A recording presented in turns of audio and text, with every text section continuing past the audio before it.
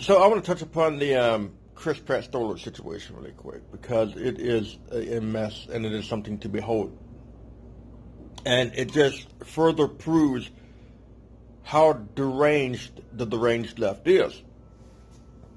Now, you know, Chris Pratt has been under fire for quite some time because people are accusing him of being homophobic and they accuse him of hating gay people and you know all because he goes to a specific church and you know then Ellen Page now Elliot Page um, accused him we didn't really accuse him but, but she accused the church of being anti-LGBTQ plus, and because Chris Pratt goes to that church, people automatically assume that he's anti-LGBTQ plus, and of course that makes him homophobic.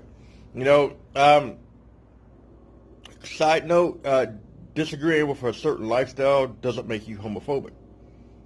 Hating people who are uh, part of the LGBTQ plus community, that makes you homophobic. You could disagree with somebody's lifestyle and still care for them as people. You know, it's the same thing as maybe like you disapprove of, you know, your uh, somebody's promiscuous lifestyle. You disapprove of somebody's uh, wild lifestyle. You disapprove of somebody's, uh, you know, uh, who just, you know, it, it just wasting their life away, you know, on uh, substance abuse. You know, you could disapprove of that lifestyle. Doesn't mean that you hate the people. Doesn't mean that you have a phobia. I mean, that's just the way it is. But the problem with the deranged left is that if you don't 100% supplicate yourself to them, if you don't 100% uh, agree with everything they agree with, then you are therefore a problem, and they will do whatever they can to smear you and try to, you know, destroy your life. And that's exactly what they're trying to do with Chris Pratt. Now, for whatever reason, now, Chris Pratt plays Star Lord in the Guardians of the Galaxy movie and the Marvel Cinematic Universe, the Marvel Cinematic Universe. But and the for whatever reason, Marvel in the comics revealed. I'm not really. We're not going to say revealed. They pur- because they they purposely changed Star Lord's sexuality because he's always been depicted as a heterosexual male. You know, sort of like a Captain Kirk type character where he like gets all these alien women and stuff. But and this is just going off uh, from from what I understand, from what I hear. But you know, so he's always been depicted as a straight, as a heterosexual cisgender male. And uh, no, uh, somebody pointed out that well, he sleeps with aliens, so it makes sense that he would be bisexual. No, that doesn't work that way. You know, uh, just because he sleeps with aliens doesn't necessarily mean that he is bisexual. Just means that he's attracted to female aliens. But anyway, long story short, they decided to go ahead and make the character uh, bisexual. They purposely changed them to be bisexual. Why? Who knows why? Uh, maybe they're trying to score a woke point. Maybe it's for representation. I don't buy the representation bullshit because just like with every other every other character change that they do, or change to a character, an established character that they do, you know, there are plenty of characters. They always seem to change.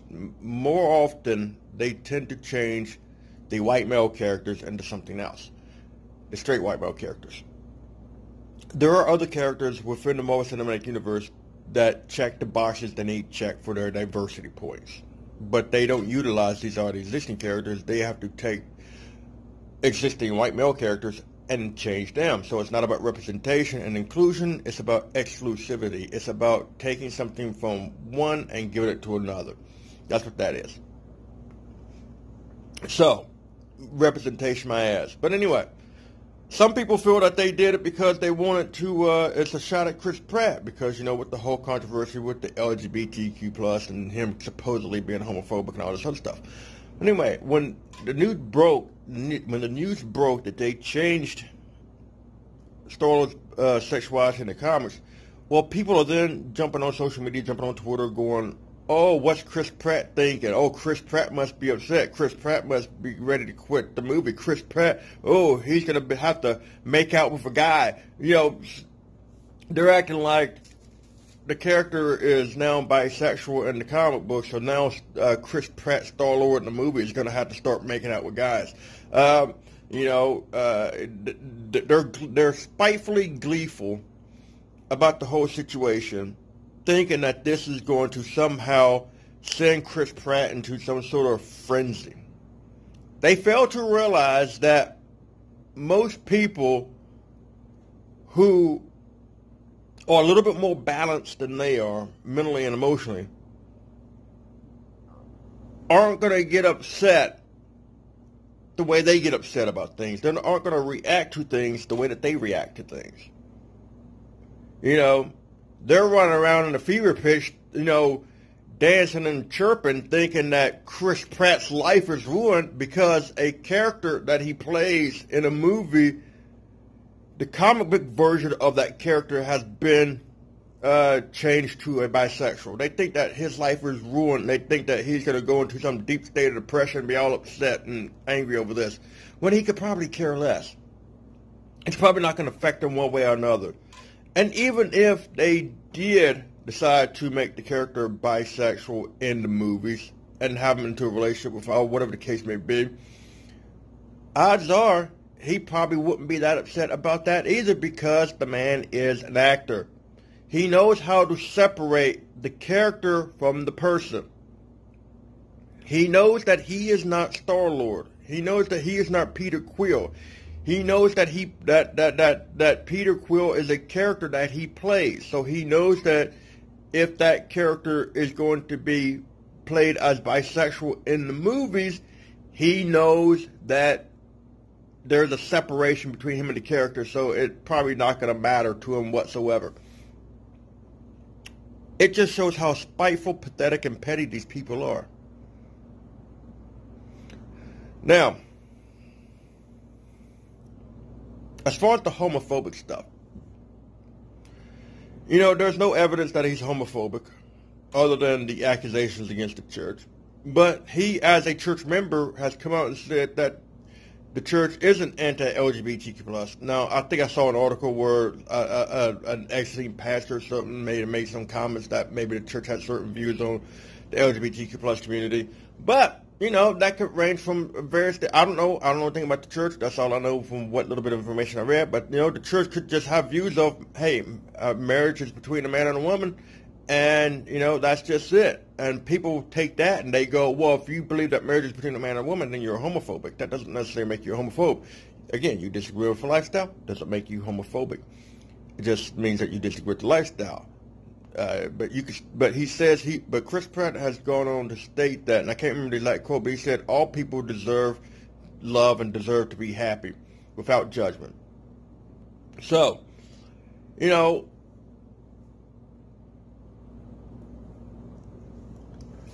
the man doesn't come across as anything but a genuinely nice guy, a genuinely good guy.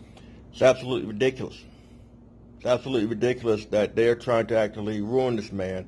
That's what they do. Now, had any of now, let's suppose Chris Pratt would have been coming after one of them for whatever reason, as much as they are him. Well, then they would be they would be crying and they would be saying that he's harassing them.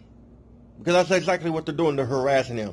They're harassing him over this. They've harassed Gina Carano. They're still harassing Gina Carano over this, over because people uh, don't agree with them. And also the case with Gina Carano is very interesting because with the case of Gina Carano, from what I understand, you know, in your social media, you could put your pronouns in your bio. And she didn't have her pronoun in her bio. And people kept going, well, you have to put your pronoun in your bio. So that way, because it, it, it supposedly helps out the trans community by putting your pronoun in your bio. Because, you know, Gina Carano's, uh, Gina Carano's pronouns in her bio, bio is really going to help out the trans community. Gina Carano going, I'm a, I'm a straight heterosexual female who, or, or Gina Carano's pronouns being she, her, is really going to help out the trans community. Now, if you are a trans person, or if you identify as, you know, whatever gender you identify with, you know, as a trans person, you know, if you were born you know, of the female sex, and you feel that you are, but your gender is male, and you want to put in your bio, him, he, him, or they, so that people know that that is your preferred pronoun, and they don't have to make any assumptions or to keep them making assumptions, that's perfectly fine. But Gina Carano doesn't have to do that. Nobody else has to do that. If you are, because it's about assumption. People, people, I think people go, well, you assume that I am a female because of the way I look. Well, no fucking shit, you dumb dunce. That's how people are. That is specifically why you want to put your pronouns in your bio, and I get that. I understand that. But if you don't adhere to that, if you are not that, if you're not trans, or if you, if, or, or if you, let me put, put it to you this way, clarify a little bit. If your gender matches your sexuality, if your gender matches your sex, not your sexuality, if your gender matches your sex, your biological sex, then nobody is assuming anything about you. They are pointing out what you are. They are referring to how you want to be referred to. If you your your if your gender is female and your sex is female, and somebody refers to you as her or she, then they are using the correct pronouns, your preferred pronouns. The only people who need to put their shit in their bio are the people whose gender is the opposite of their sex.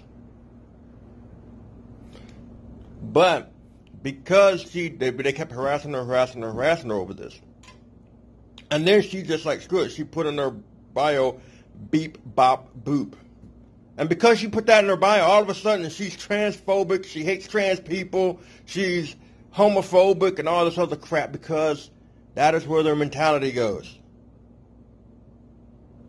the deranged mentality. It's like a derailed train, their deranged mentality is. It's ridiculous. You No, here we have two people who are genuinely nice people from, from all accounts, from what I could tell, from what people have spoken about them and said everything and witnessed some of social media stuff. They are genuinely nice people that the intolerable, deranged left are going after. And again, it's just spiteful, petty, and pathetic. But anyway, those are just my thoughts on that. Catch you on the flip side.